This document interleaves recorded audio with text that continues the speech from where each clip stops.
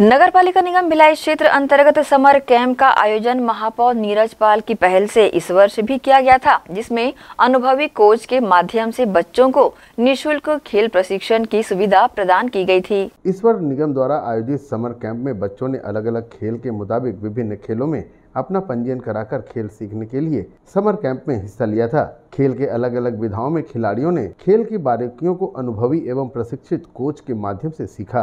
Cricket football badminton सहित अन्य कई खेलों को सीखने का अवसर समर कैंप के माध्यम से खिलाड़ियों को मिला। समर कैंप को लेकर के जनसंपर्क अधिकारी पीसी सारवा ने जानकारी दी है। देखिए माननीय महापौर जी की पहल से आ, समर कैंप का आयोजन हुआ था और 10 मई से लेकर के 15 मई तक की पंजीयन प्रक्रिया हुई थी। इसके बाद से खेल का जो वो है, खेल प्रशिक्षण है, वो अनुभवी कोच के माध्यम से लगातार विभिन्न जो प्रांगण है, खेल प्रांगण उनके माध्यम से दिया गया।